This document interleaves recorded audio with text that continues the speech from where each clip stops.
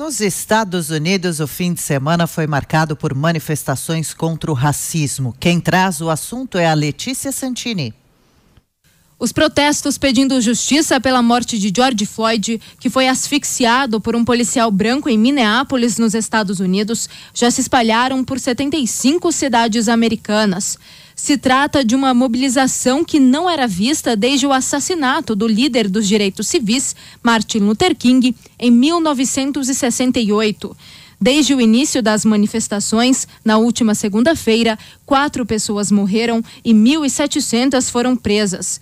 Neste domingo, os atos foram marcados pelo desafio aos toques de recolher em pelo menos 40 cidades. Um protesto em Minneapolis foi interrompido por um caminhão que avançou em direção a um grupo de manifestantes.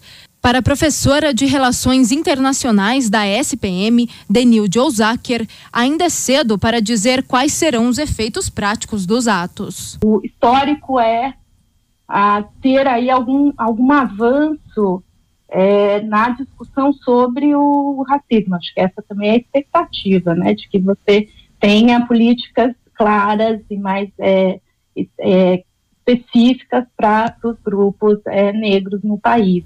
Mesmo após a demissão e prisão do responsável pelo crime contra George Floyd, os atos não perderam força no fim de semana.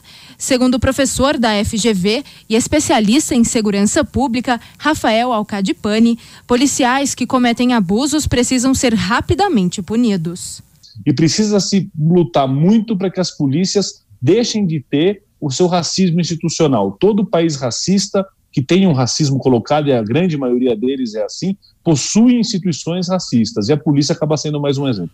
Neste domingo, o presidente americano Donald Trump voltou a culpar a imprensa do país pelos protestos que, segundo ele, está fazendo de tudo para fomentar o ódio e a anarquia. No sábado, dois jornalistas da Reuters foram atingidos por balas de borracha e a câmera de um fotógrafo foi destruída.